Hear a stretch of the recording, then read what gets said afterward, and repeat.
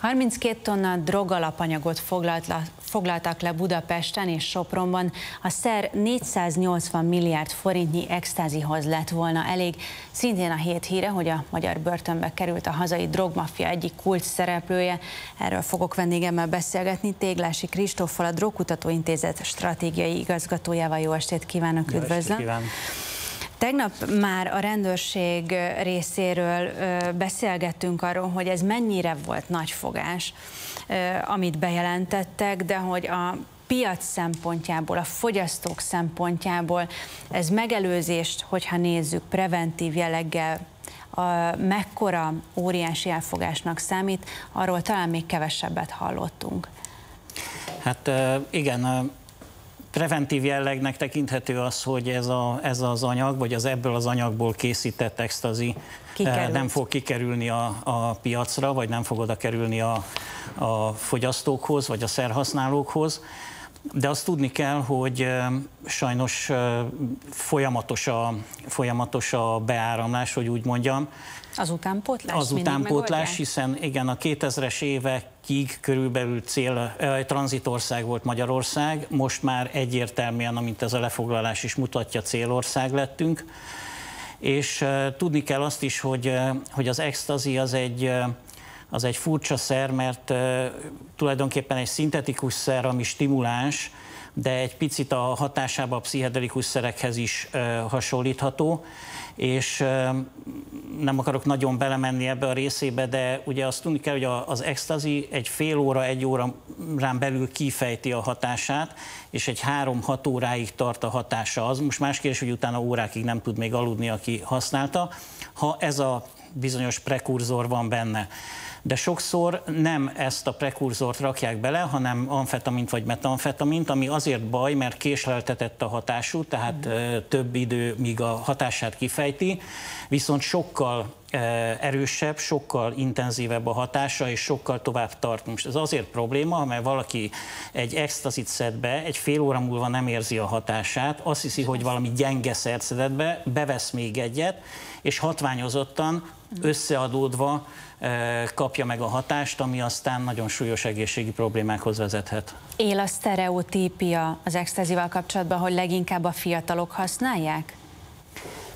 Természetesen szerintem ugye az extázi az a 80-as évek második felében így robbant be a köztudatba, vagy került ki a fekete piacra, és egy ilyen parti drogként, táncolós drogként igen. is szokták emlegetni, tehát való, igen, általában bulikba és bizonyos zenei kultúrákhoz köthető bulikba különösen használják ezeket a szereket, főleg az extazit, de és ezeknek a buliknak a közönsége fiatal. Viszont azt tudni kell, és ez nagyon nagy probléma, hogy a Magyarországon is az első kipróbálás aránya, az, csúsz, az életkor, az csúszik lefelé, tehát most már a szakemberek 12-14 évről is beszélnek, és az extazi is, és egyébként a, a minden más kábítószer, de az extazi különösen a fiataloknál, ahol például az agy még fejlődésben van, sokkal súlyosabb és sokkal hosszabb távú hatást, káros tromboló hatást tud kifejteni, mint egy mondjuk vegyük kifejlett szervezetű 20 évesnél.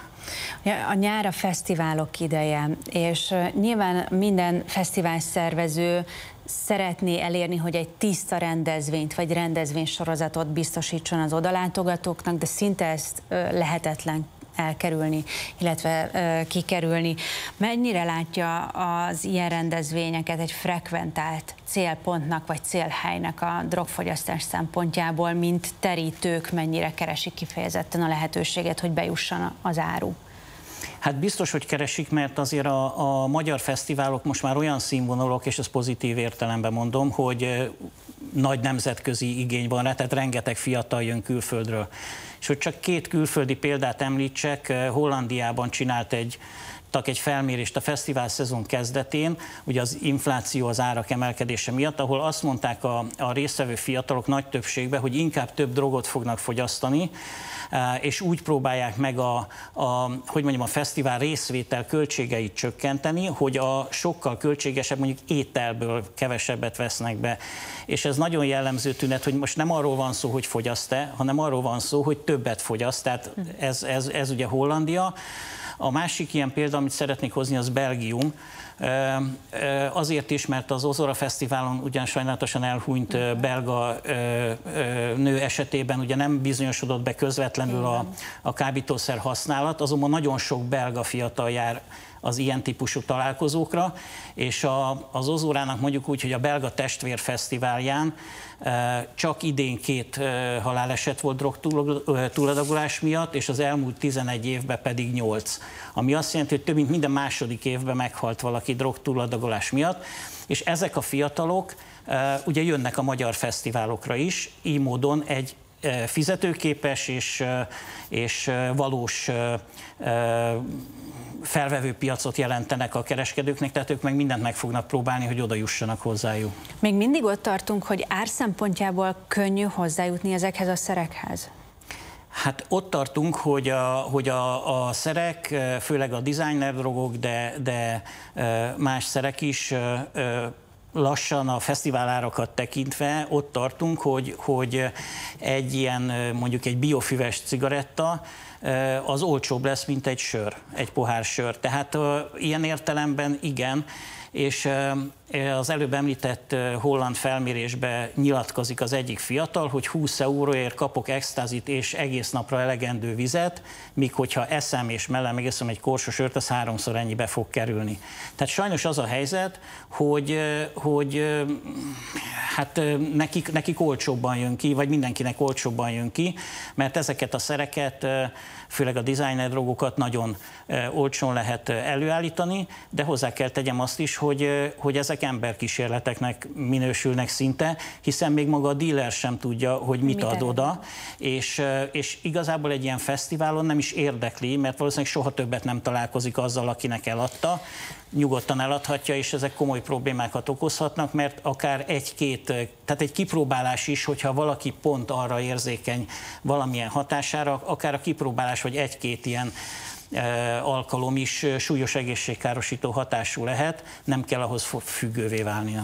Lassan tíz éve, hogy megalkották Magyarországon a drogstratégiát, hogy látja, mekkora szerepet vállal az elképzelések, mekkora szerepet vállalnak a megelőzésben és a, a piac visszaszorításában?